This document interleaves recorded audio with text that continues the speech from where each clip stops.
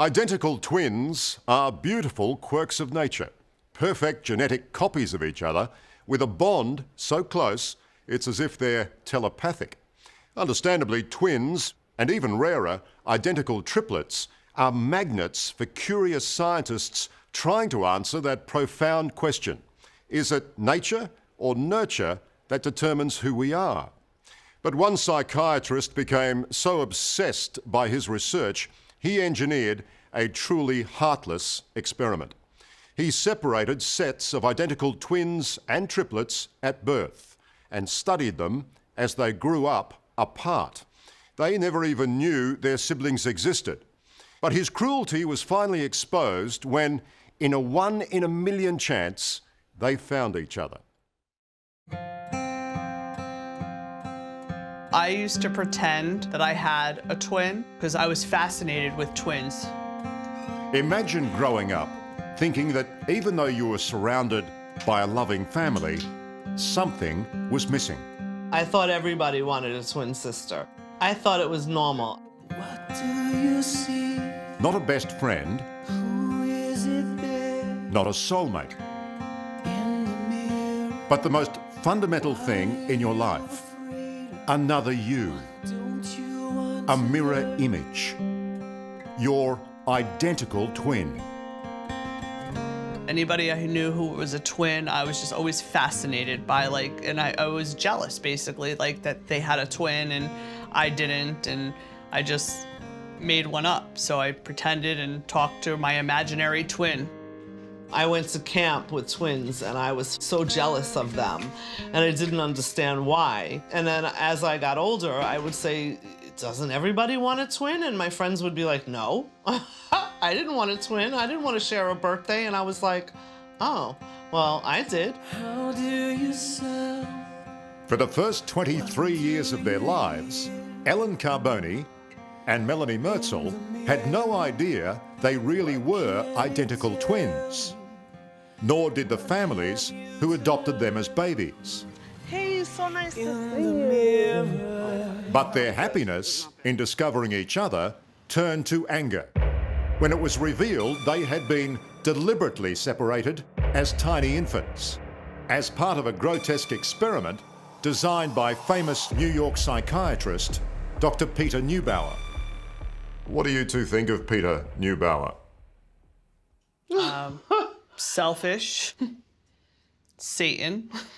we were identical, and he robbed us of our childhood. He robbed us our of lives. our closeness. Altered our lives. He took away something from from us that we will never, ever, ever experience or have. Or get back. In our entire lives. And they were not alone. And I said, this is like Nazi shit. Other twins, even triplets, were ripped apart in the name of science. Kind of like reality hitting like a tidal wave. We were a science experiment. These people split us up and studied us like lab rats. The experiment started in the 1960s at the Louise Wise Adoption Agency in New York. Here, babies were adopted out to good Jewish families. Identical twins, Ellen and Melanie, were born in May 1966. But neither their biological mother nor the families who adopted them had any idea they were guinea pigs in a secret experiment. Louise Wise actually called my mom and said that we will give you another baby if you let us do studies on how a third child adapts in a household. So my mom was like, oh, okay, I'll do anything. I want another baby. And how old were you at the time? My mom says three months. And so she was allowed to do that to take you away on the basis that it was a, what, normal child development study? Right, exactly. So the whole thing was a sham to both sets of your parents. They Correct. had no idea. None. What was the Neubauer study trying to achieve? Dr. Peter Neubauer was very interested in questions of nature and nurture. To what extent are we products of our genes, and to what extent are we products of our environment? Professor Nancy Segal is one of the world's leading experts on twins. and the role genetics and the environment play in shaping who we are. In the Neubauer study, there was a purposeful separation, an intentional separation of the twins. He got all of his data in real time, which in many ways is the ideal experiment, but it's also the forbidden experiment. In total, four pairs of identical twins and one set of triplets were all split and sent to separate homes so they could be studied for their differences and similarities as they grew up. Do both of you remember being studied and filmed and questioned when you oh, were Oh, yeah. little girls at home as part of the New Neubauer study? Absolutely. I hated it. I loved it. I'm the only twin, apparently, in the whole study that loved it. I hated it. It was torture. I had fun. Why did you love it? Mm, probably because I was third child and kind of, you know, pushed aside. And it was someone who came to my house. They visited me, they hung out with me, they played with me. Dr. Neubauer's researchers would arrive to test, film, and play with the children, never divulging the dark secret behind their work. I mean, these researchers were taking obviously hospitality from your adoptive parents in their home and still keeping this horrible secret. It's pretty average performance, isn't it? Lying to everyone. hmm Acting like they were doing it for our benefit, but it was for their benefit, not ours. We would have been the same if we were raised together. It wasn't just unethical, it was cruel. They may have lived their whole lives not knowing each other existed, but for luck and mistaken identity. 30 years ago, Mel was working at her parents' restaurant, the International House of Pancakes, in Brooklyn, New York. As I understand it, the key to you two meeting, finally knowing that you were twins, came down to a very persistent auntie.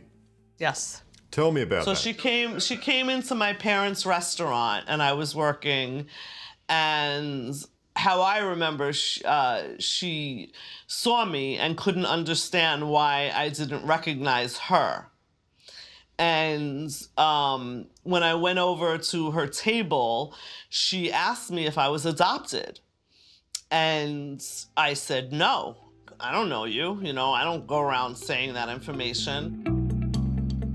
Later that day, Melanie said, Mom, could I be a twin?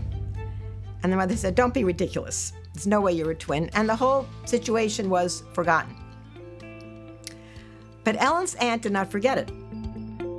And then a week or two later, she came in with a picture of Ellen, but she didn't present it to me. She presented it to my boyfriend who was working with me at the time. And my boyfriend, he knew I was adopted. So he showed me the picture and he said, That's you. And I said, That is not me. And he said, Yes, that's you. And I said, Don't tell me who I am. I know who I am. And uh, then I went over to the table and she said, Do you want to speak with her? And I said, Yeah. When I went home from work that day, I called Ellen, and when I heard her voice, I was like, Oh my God, you sound just like me. And then we just started talking about everything. Day one, when we first met, Melanie and Ellen were 23 years old at the time they discovered each other existed. Was there any hesitation? I mean, did you hit it off straight away? Was it that quick? Yeah, because when we spoke on the phone, we compared everything that we liked our birthdays, this, that, and the other thing, the studies. Uh, people came to my house and tested me. Oh, they came to my house and tested me. Oh, well, you know, I like this and I hate this, and everything was very. And then I'm a lefty, she's a righty. Her dimple's on the left side, mine's on the right side. So we were like, wow, we're mirror images. You threw up. I did. Before First we met. Came. Yep. I was so nervous before you came, I threw up. I was like, I'm meeting this person who I've only talked to. I know that, um, like, like as she said, when she called, our voices were identical, and then we both laughed about it, and our laughs were identical. And I was just like, this was just so weird.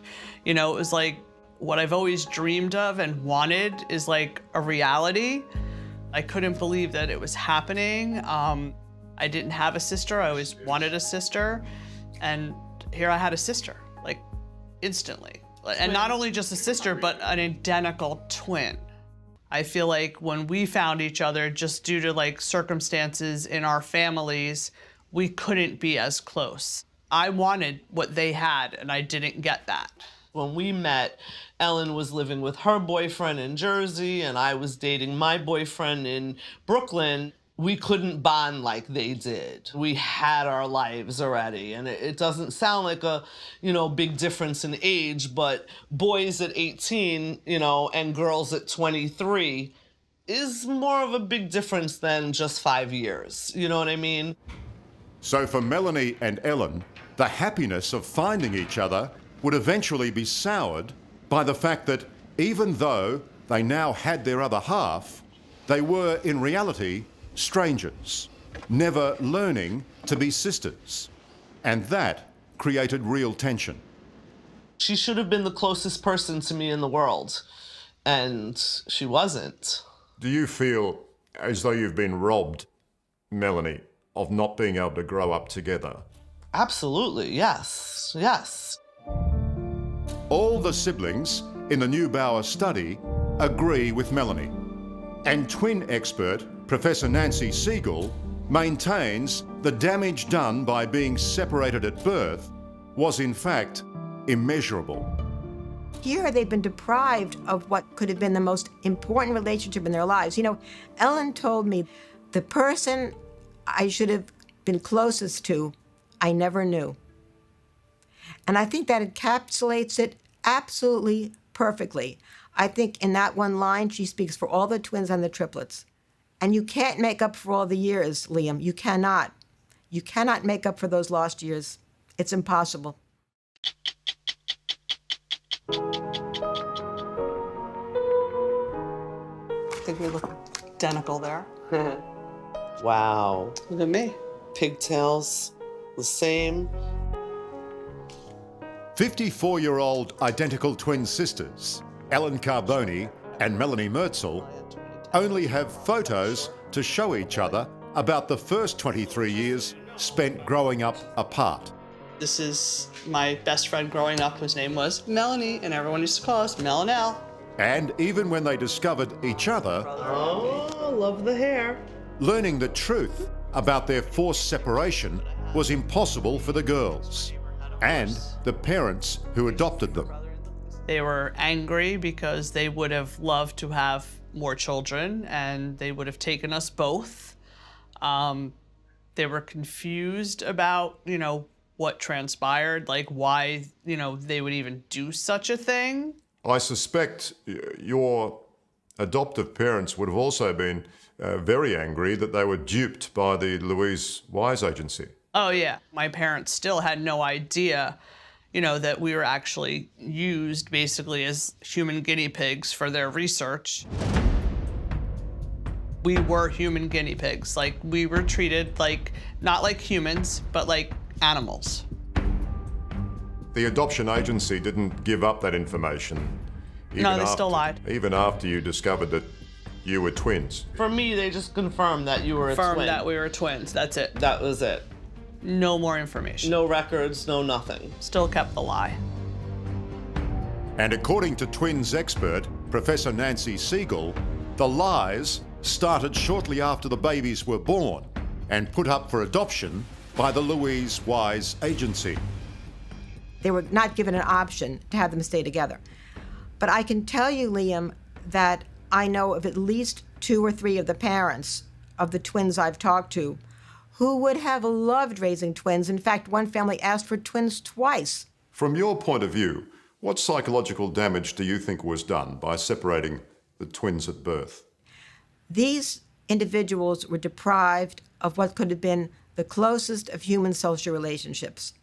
And to know that you could have had that is devastating.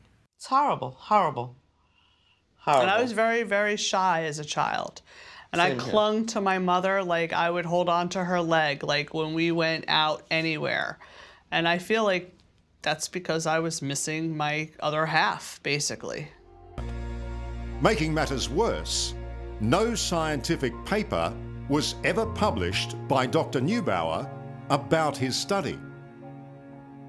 All that sadness, all that damage, all that deception, and for what? It looks pretty much like for nothing. It really does seem that the twins' suffering and the suffering of their parents and their siblings and everyone who knows them was really for nothing. There is no real end product here, nothing that we can say that we've learned. We've only learned how not to do research. Most cruelly, by Dr. Neubauer's own orders, before his death in 2008, the records of their own early lives are kept secret, even from the twins themselves. Although Ellen and Melanie are fighting for access. You think you deserve to see those records? Of course, it's my it's my life. You could you shouldn't hide my life from me. Like the fact that it was never publicized is like really because you did it all for nothing then we, So I- we I- describe him as a nazi honestly So I, I think that he was trying to play God and try to see if it, if again if it was genetics or if it was how you're raised, your environment. So what molds you to be the person you are? If Neubauer was looking for that answer to that incredible question of nature versus nurture, what's your answer? Both. both It's both. Hello, I'm Liam Bartlett. Thanks for watching. To keep up with the latest from 60 Minutes Australia, make sure you subscribe to our channel. You can also download the 9Now app for full episodes and other exclusive 60 Minutes content.